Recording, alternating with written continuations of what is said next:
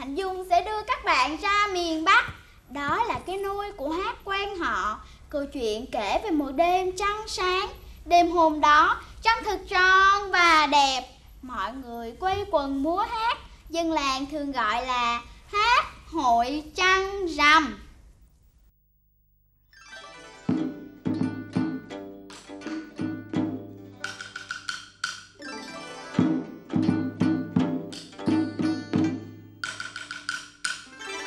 thank you